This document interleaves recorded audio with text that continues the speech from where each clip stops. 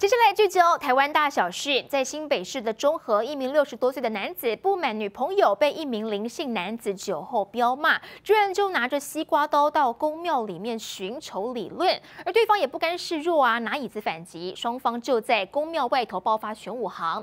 而这一名林姓男子的哥哥最后还加入战局，加入助阵，附近民众看到全吓坏了，赶紧报警处理。而警方事后到场，将三名年纪加起来超过一百五十岁的。大男人通通压制，带回警局。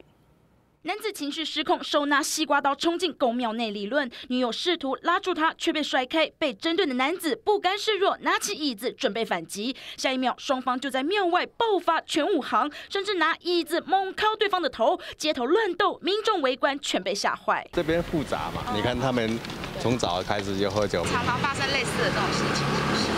大大小小吧。公庙斗殴还没完，持刀男刀子竟被对方抢去，一路逃窜到一旁巷弄，反被对方压在骑楼狂殴。对方的哥哥拿着抢来的刀在旁助阵，失控场面一发不可收拾。其实这边还是有很多小朋友啊，是一个庙，然后你有这样的感觉，就是不是那么好。事发就在新北市中和这处公庙内，当时胡姓男子不满林男酒后对女友爆粗口，持刀理论，反被对方与哥哥抢刀殴打，酿成他脸部、头部见血，缝了七针。只是这处公庙不止白天有许多民众都会聚集休憩，更是居民的信仰中心。如今变成寻仇场所，民众难掩担忧。警方获报到场后，迅速将三人哦压制哦，那也分别依伤害。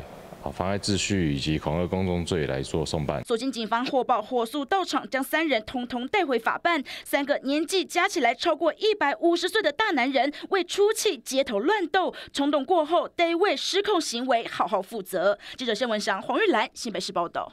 好，立刻查播最新消息，在台中太平北田大桥，刚才传出两人溺水，初步了解身份已经出炉了，一大一小，分别是二十七岁跟七岁，疑似是在河床烤肉不慎溺水。目前消防队正在现场搜索，稍后会有更完整的报道。那么接下来我们要来关心治安，发生在高雄，一名王姓嫌犯七号晚间拿着枪到保龄球馆外头，就直接朝他的朋友射击四五枪，而他朋友的手指中弹，流血。送医，这名嫌犯则是绕跑躲警察，一路从男子躲到凤山，不过路口监视器依旧露了馅。王姓嫌犯为了五万元纠纷，朝朋友开枪射击，躲了两天，最后被警方路边当场逮捕，包包内还搜出犯案的瓦斯枪。来，一把知道自己逃不了，伸出手乖乖配合上铐。七号晚上，王姓嫌犯开着车到男子的一家保龄球场外，把朋友叫出来。一见到面，拿出预藏的瓦斯枪，连续开了四五枪。朋友的手指遭 BB 弹射中，不断喷血，地板上全是血迹。而嫌犯开车绕跑。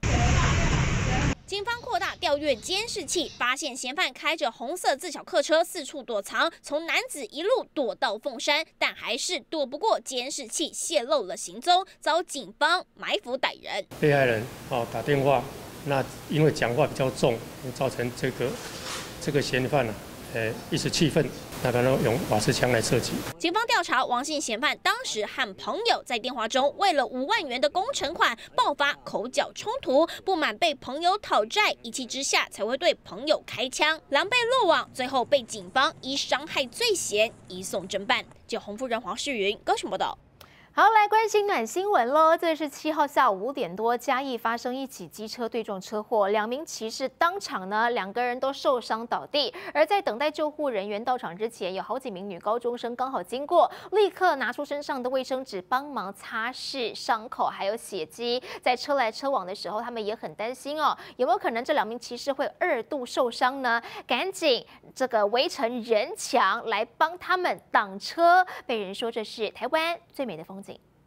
外伤比较严重。女子满脸是血，坐在椅子上。三名热心女学生，一个人拿面纸，另一个人小心翼翼帮伤者把裤管给卷起来，就怕来车没有看到伤患。三名女高中生立刻在现场围起人墙。哦，你们跟他不认识。另一头阿妈脚踝受伤，正在包扎。终于等到救护人员，但女学生还是不放心，坐上救护车陪同伤患一起去医院。去加急好吗？好不好？两个人一起去。事发就在七号下午五点多，嘉义保安一路口，一名阿嬷及年轻骑士两人骑车在路口发生擦撞，喷飞到大马路上，车上物品散落一地。旁边女学生刚好经过，立刻上前帮忙。两位患者旁边都有女高中生、数位女高中生陪伴，并且已经在救护车抵达前，先行帮患者。以卫生纸先止血伤口，两人手脚擦挫伤，送医后没有大碍。好在有热心女学生帮忙，不仅帮忙报案，甚至还围起挡车人墙，就怕伤者受到恶毒伤害。暖心举动也让网友直呼，真的是最美的风景。记者侯国马嘉瑜加以报道。在云林有一名三岁小女童，她跟爸爸妈妈还有阿妈挤在猪圈改造的房子里。这五十年的老房子其实只有两平这么大，而且屋顶还塌了一边，必须靠木棍来支撑。光是遮风避雨，其实都有困难了。而这名小美眉，她的梦想是希望家人可以住一间大房子。她把自己的希望画在纸上，现在被义工团看见了，决定帮她实现她的梦想。这这是他要的房子，然后这个是他要遮凉的树。一个大大的四方形，简单的线条笔触勾勒出一个三岁孩子对于家的梦想。